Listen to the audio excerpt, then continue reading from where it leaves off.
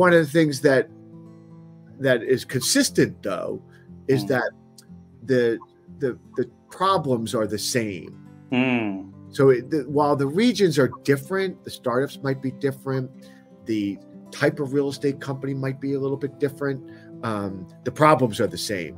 The construction problems are the same. The lack of efficiency on uh, acquisitions, dispositions, the lack of um, operating efficiency, um, et cetera, et cetera, et cetera. Th- those are all the same challenges. The archaic nature of a lot of way that buildings are, um, you know, in terms of building access. My good friend Leo Des, who's the access control guru, you got to have him on the podcast.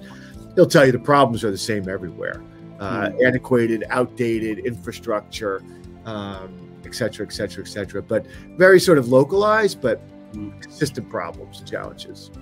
So, so Michael, so real estate has two pieces. While the real estate is local by its nature, the technology piece can be global, right? So, the, the, the reason I ask you is do you imagine a startup emerging, say, from India, uh, think that they could go global and implement and deploy across the globe if they are actually solving a real key problem? Have you seen such examples that have gone global?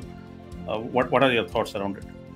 Yes, absolutely. Uh, it doesn't matter if it's uh, in India or uh, South Africa or Brazil or Seoul. It doesn't matter. If it's a good solution, uh, it, it'll get traction anywhere with the caveat that it's got to be scalable. So Hmm. it, it must work in the various countries as successfully as it does where it was born and incubated. And the other thing is you've got, and this is one sort of unique characteristics of our industry, um, as opposed to say consumer tech or what have you. You do have to have boots on the ground. Uh, Mm. it- is very, very important. We're still in this sort of like they want to meet, they want to, they want to know somebody that's local that's Mm. going to help with the implementation. That that's very, very important. So, yeah, I mean, for sure, some I'm aware of some extraordinary um, startups from India and other parts of the world that are doing great that have that should be here in the U.S. or they should be in Europe.